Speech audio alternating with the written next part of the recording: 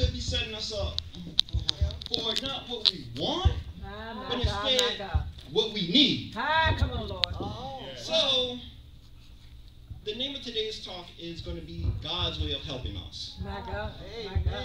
And my first point is going to be God will give you what you need, My, my.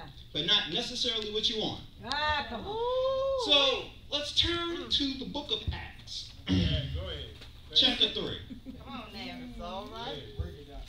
And we're going to do verses 1 through 8. And when you have it, say amen. Amen. Amen. All right, so let us read together. Now, Peter and John went up together into the temple at the hour of prayer, being the ninth hour. Yeah.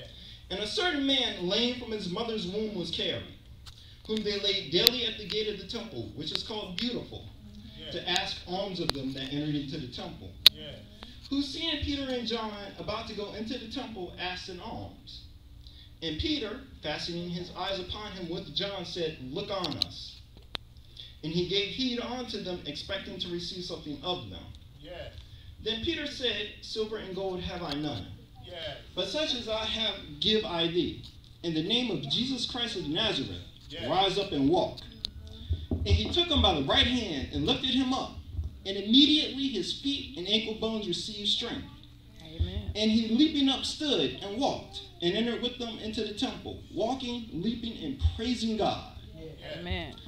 So, what we can take from this, the lame man wanted alms. Mm-hmm. And he saw Peter and John, and he asked of them.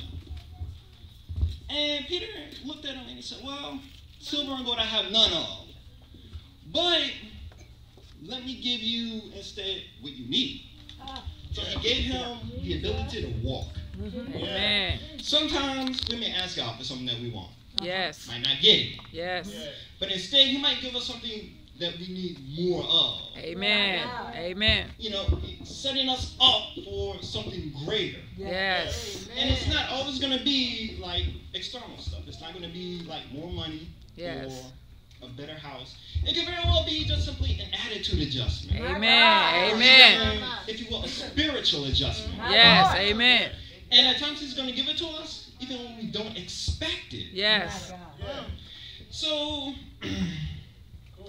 Come on, the Mr. thing Bond. is, if we look in Matthew chapter 6, verse 8, the B part, it says, Do not be like them, for your father knows before you ask him. So don't worry about if you're praying for something Mhm. and God doesn't fulfill it right off the bat. Amen. already knows what you need. Amen. It's like when the Israel the Israelites were fleeing out of Egypt. At every point that they came across, they always wanted to go back to Egypt. Yeah.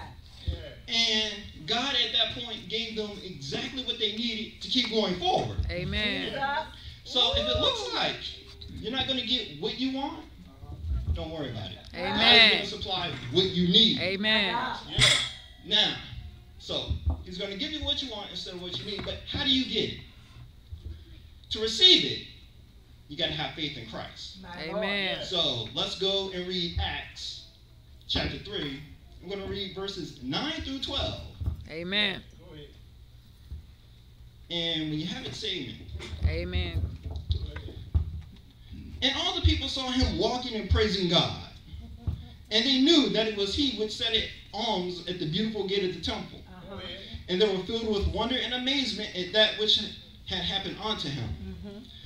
And as the lame man which was healed held Peter and John, all the people ran together unto them in the porch that is called Solomon's, greatly wondering.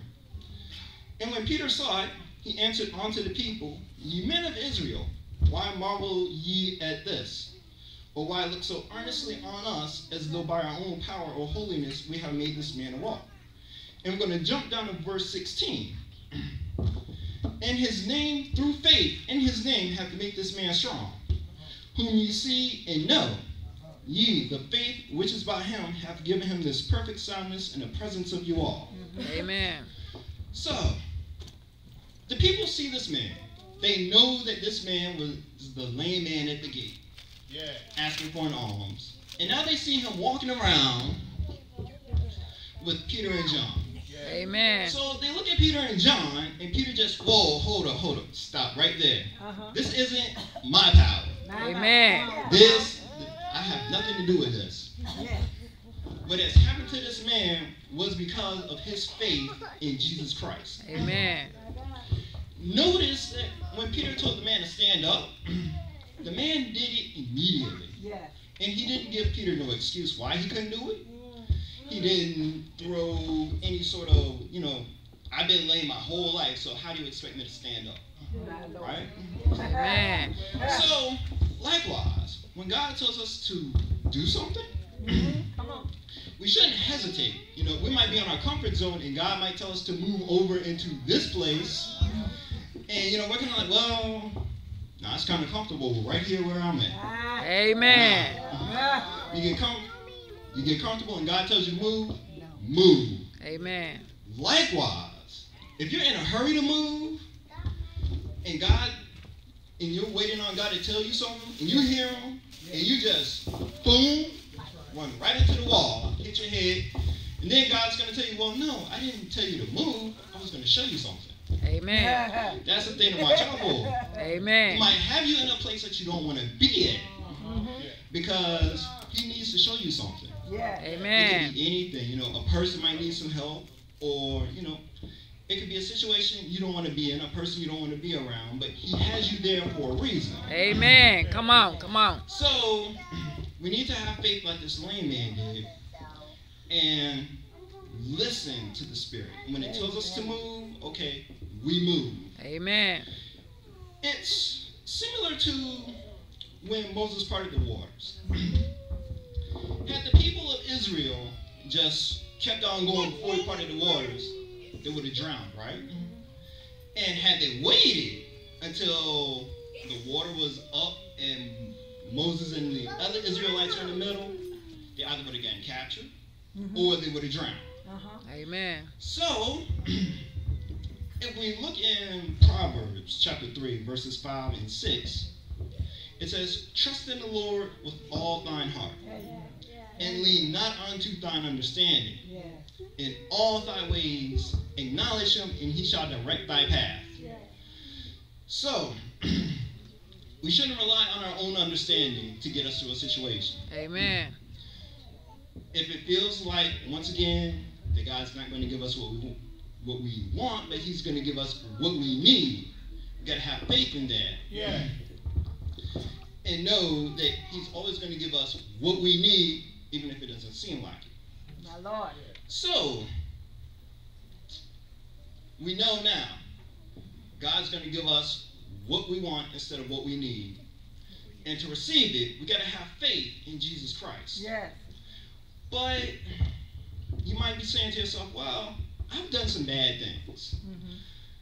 So here's the thing it's never too late. My. Come on So we're going to hop back into Acts chapter 3. Mm-hmm. Yeah. And this time we're going to read verses 13 through 19. And wow. So when you haven't said amen. Alright. The God of Abraham and of Isaac Yes. and of Jacob. The God of our fathers hath glorified his Son Jesus, whom ye delivered up, and denied him in the presence of Pilate, when he was determined to let him go. But ye denied the Holy One and the just, and desired a murderer to be granted unto you, Mm-hmm. and killed the Prince of Life, whom God hath raised from the dead, whereof we are witnesses. And his name, through faith in his name, hath made this man strong, whom ye see and know. Yea, the faith which is by him hath given him this perfect soundness in the presence of you all. And now, brethren, I walk through ignorance ye did it, as did your rulers. But those things which God before hath shewed by the mouth of his prophets, Mhm. that Christ should suffer, he hath so fulfilled. And this is the important part. Repent ye therefore, and be converted, that your sins may be blotted out, when the times of refreshing shall come from the presence of the Lord. So you might think you've done something bad, right? But these people, these people were the ones who were responsible for the death of Jesus Christ. Mm-hmm. And even though they did it in ignorance, Peter tells them that by repenting, Mm-hmm. they can have their sins blotted out. Now, that word repent it, it's an important word in the scripture. Because it does not just simply mean that you apologize to God and then you just continue doing whatever it is you're doing. nah, nah. Amen. Amen. Yeah. It means that you turn away from sin nature Mhm. and embrace God. Amen. Amen. You might you might get caught up in it again, but if you do, it's not going to feel right. It's not going to feel the same. You you'll feel dirty for doing it again, if you will. So the thing is, Peter tells Peter gives these people the opportunity to repent. Yeah. So you can have the opportunity to repent. Jesus. And if you look in Isaiah chapter 44, verse 22, where it says, I have blotted out as a thick cloud thy transgressions, and as a cloud thy sins. Return unto me, for I have redeemed thee. Mhm. So we have the story of the prodigal son, a young man who went out into the world and he did things. Got beat up by the world, basically.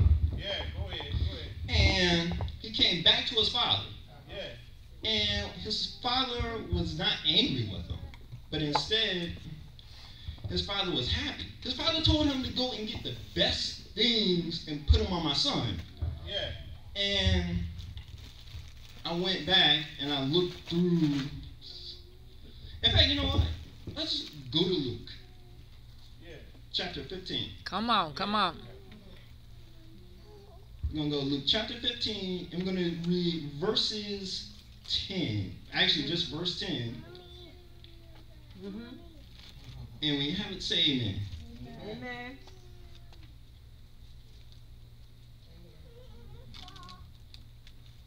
Oh, and it reads, Likewise, I say unto you, there is joy in the presence of the angel of God over one sinner that repenteth.